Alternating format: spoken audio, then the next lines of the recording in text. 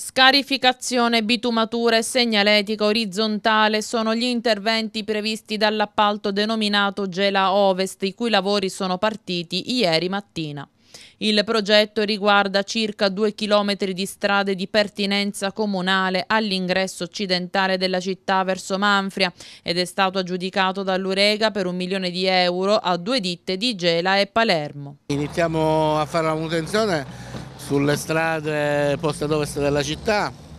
A breve inizieremo anche in questa stessa settimana i lavori nella zona est, soprattutto quindi l'ingresso di Gela dalla parte di Vittoria.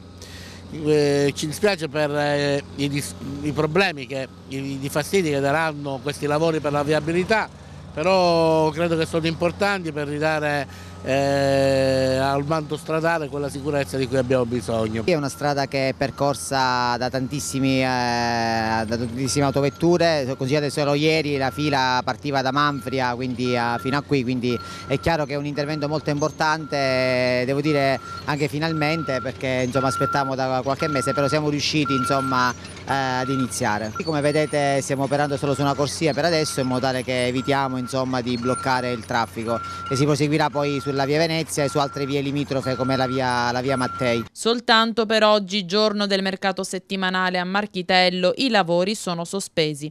Già in settimana potrebbero essere aperti anche cantieri di un altro maxi appalto, quello relativo a Gela Est che interessa le arterie all'uscita per Vittoria.